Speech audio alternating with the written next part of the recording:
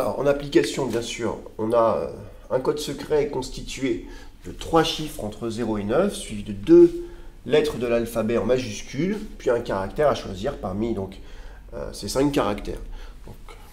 comment est-ce qu'on va résoudre euh, Combien est-ce que de codes secrets peut-on constituer en ayant ces hypothèses? Donc on va appeler A, par exemple, l'ensemble des de 10 chiffres entre 0 et 9. Donc bien sûr, on a carte de A qui est égale à 10. Euh, le carte de B, donc B, c'est, on va, appeler ça l'ensemble des 26 euh, lettres de l'alphabet en majuscule. Donc A, carte de B est égale à 26, bien sûr. Et C, donc l'ensemble euh, de ces 5 symboles et carte de C est égale à 5.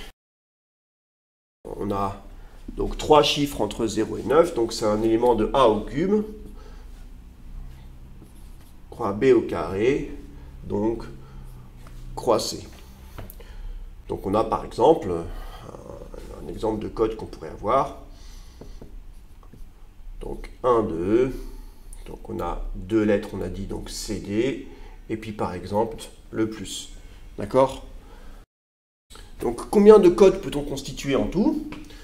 Le cardinal, on utilise bien sûr le principe multiplicatif. Dans A, j'ai bien 10 au cube multiplié par 26 au carré multiplié